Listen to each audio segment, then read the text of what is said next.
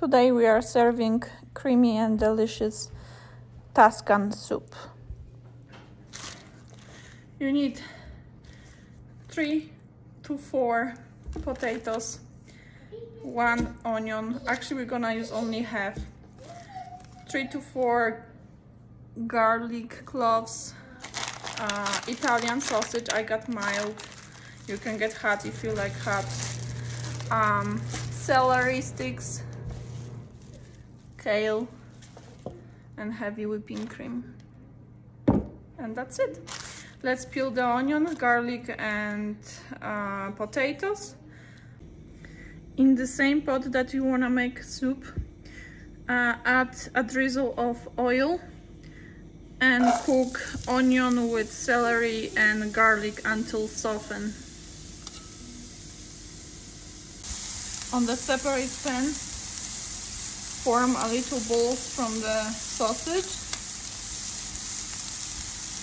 and fry it until it's cooked on few sides. Turn it around. When it's cooked, transfer to your pot with uh, onion and celery and garlic.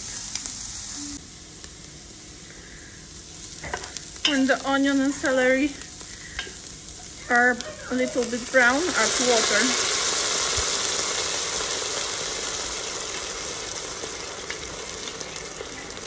About 4 cups of water and let it simmer for a little bit.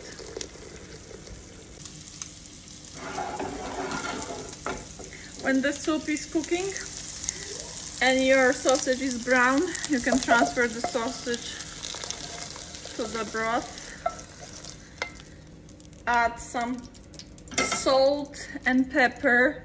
Uh, be careful with the pepper if you are using uh, high, hot uh, Italian sausage because it's gonna be spicy anyway. So you wanna skip the pepper but if you're using mild yes go ahead and add it add potatoes and let it cook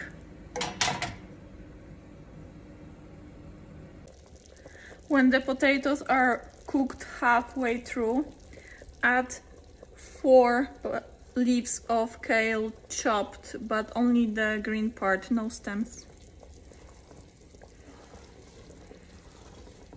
and let it cook until potatoes are soft. When the potatoes are soft, uh, add splash of heavy whipping cream. I would say ha half cup to one cup. It depends if you like it creamy or not that much. Add salt and pepper to taste Cook five more minutes and your soup is ready to eat. Enjoy!